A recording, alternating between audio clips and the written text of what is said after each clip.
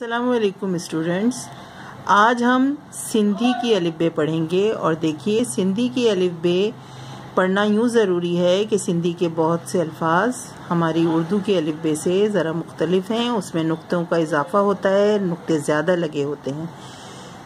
तो हम ये देखेंगे और सीखेंगे कि ज़्यादा नुक्ते लगाने से इनकी आवाज़ कैसे बदलती है। तो सिंधी के बहुत सारे अल्फाज हैं, तकरीबन बावन, यानी 52 हरूफ तहजी हैं। लेकिन जो अलग हैं, वो हम आज देखेंगे। सबसे पहले हम बे की शक्ल वाले हरूफ तहजी देखेंगे, जो बे की तरह लिखे जाते हैं।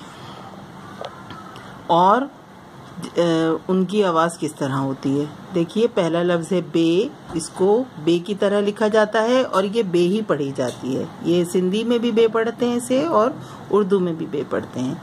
उसके बाद दो नुक्तों वाली बे, जिसमें एक नुक्ता ऊपर है और एक नुक्ता नीचे, इसको बे पढ़ा जाता है।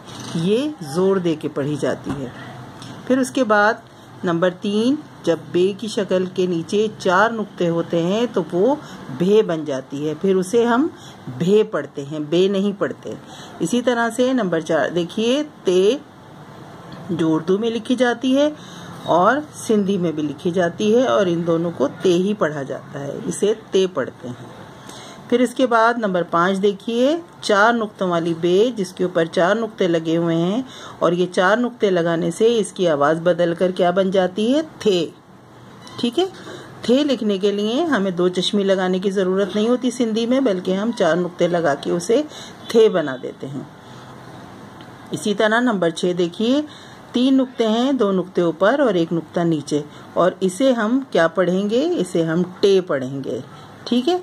उर्दू में टे लिखने के लिए हम छोटा सा तोए बनाते हैं, लेकिन सिंधी में टे बनाने के लिए इस तरह से तीन नुक्ते लगाए जाते हैं, दो ऊपर और एक नीचे। फिर उसके बाद देखिए, एक नुक्ता ऊपर है और एक नुक्ता नीचे। तो इसको हम क्या पढ़ेंगे? इसे हम ठे पढ़ेंगे। ठीक है? ठे फिर उसके बाद नंबर आठ देखिए फे की शक्ल बनी हुई है। फे की तरह से एक लफ्ज़ बना हुआ है, लेकिन उसके ऊपर चार नुक्ते हैं।